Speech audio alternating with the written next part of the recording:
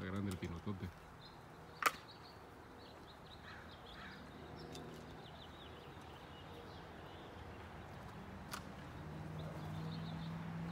Te tomé la foto, pero la cara se te ve muy rara. Ah, oh, está de espaldas. Sí, tendría que doblar este. Ya, eso sí.